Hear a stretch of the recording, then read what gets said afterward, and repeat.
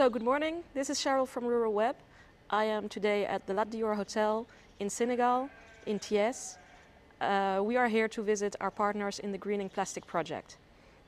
And let me explain the background. There is an art exposition here at the hotel. So I thought it would be nice to have take that as background.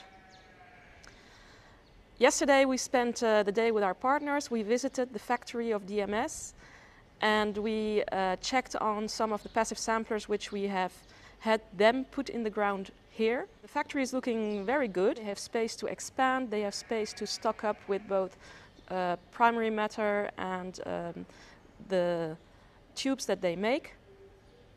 Uh, there is an office space which still needs to be isolated so that the secretary does not have uh, all the sounds from the factory coming to her so that she can concentrate on her work and accept phone calls. Um, then the passive samplers, that was a bit of a different story. These were not all um, installed as they should have been.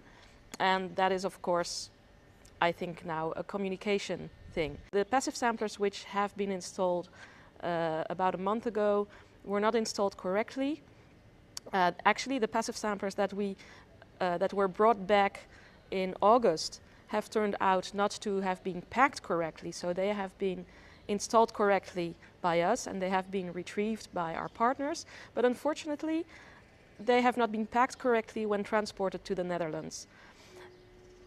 And the result is that it looks as if these passive samplers have seen 3,000 cubic meters of water flush by, and that is as much as a big river in Bangladesh, which is not very realistic for drip irrigation.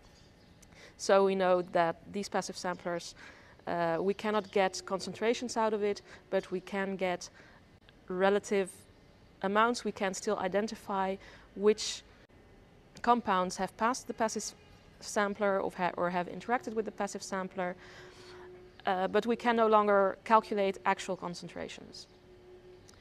But well, this is a pilot project. This is why we do a pilot, to see where do things go wrong, what do we need to pay attention to, how do we need to communicate, how these passive samplers need to be used.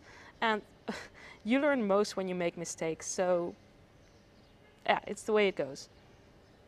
So today we have another day at LVIA. We will have meetings. Uh, we will present the passive samplers for the second time to um, people from an international network of organizations working in waste management and uh, LVIA is a coordinator of this network. So they have close ties with them. It's going to be another fun day. And um, yeah, I'm not really vlogging, but I'll take you along, take pictures for you, and we'll see what kind of video we can make of this. Thanks for watching. See you next time.